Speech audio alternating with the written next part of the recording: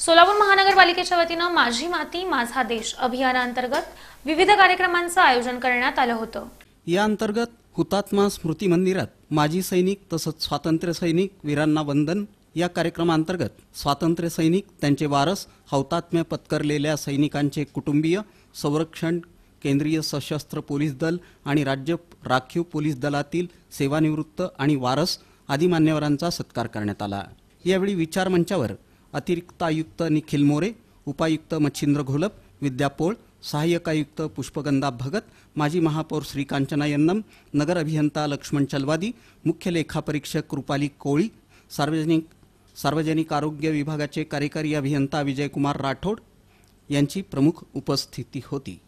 या प्रसंगी स्वातंत्र्य सेनानी कुसुम शेळके सोलापुरातील हुतात्मा जगन्नाथ शिंदे यांचे वारस नातू अनंत शिंदे हुतात्मा मल्लप्पा धनशेट्टी यांचे पणतू शिवकुमार धनशेट्टी माजी कर्नल साठे माजी सैनिक दिवंगत माजी महापौर मुरलीधर पात्रे यांचे चिरंजीव नितीन पात्रे तसंच माजी सैनिकांचे स्वातंत्र्य सेनानी आणि त्यांचे वारस आदी चारशे मान्यवरांचा यावेळी यथोचित सत्कार करण्यात आला.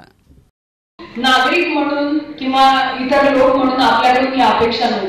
मग आपल्याकडून अपेक्षा काय आहे? जे स्वराज्य मिळाले त्याला सुराज्य करायचं असेल तर मला असं वाटतं या समाजाचा भाग म्हणून आपल्या वाट्याला जी काही भूमिका आलेली असेल मग ती माझ्या स्वच्छता कामगारांपासून ड्रायव्हर्सपासून शिपायांपासून तर महानगरपालिका आयुक्त असो वेगवेगळे अधिकारी असो लोकप्रतिनिधी असो तुमच्या वाट्याला जी कुठली भूमिका आली असेल जे काही काम तुम्ही करत असाल मग ती गृहिणीची असेल पालकांची असेल किंवा इतर असेल ती भूमिका आपण निष्ठेनं प्रामाणिकपणे पार पाडणं आणि त्याची कर्तव्य पार पाडणं मला वाटतं की एक आपल्याला जे स्वराज्य मिळाले त्याचं सुराज्यात रूपांतर करण्यासाठी हा एक अत्यंत चांगला मार्ग राजमार्ग म्हणता येईल. म्हणजे समाजाचा एक भाग म्हणून जर आपण आपलं कर्तव्य आपली भूमिका निष्ठेनं प्रामाणिकपणे पार पाडली तर समाजातील सगळी लोक स्वतःची भूमिका पार पाडतायत.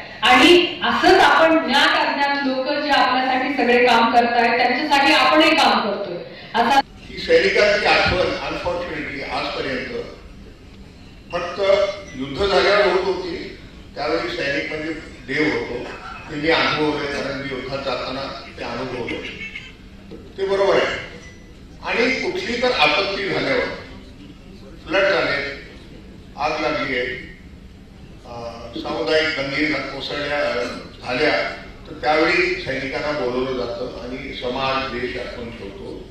तर देशाला देशाने देशाच्या समस्त नागरिकांनी आणि खास करून जे अधिकारी वर्ग आहेत जे अं, वेगवेगळे डिपार्टमेंट्स आहेत गव्हर्नमेंटचे त्यांनी सैनिकांच्या बाबतीत जाणीव सदैव सदैव ठेवावी ठेवली पाहिजे. कारण त्यांनी जो त्याग केलेला असतो त्याला काही मोलच नसतं. त्याला काही मोल नसतं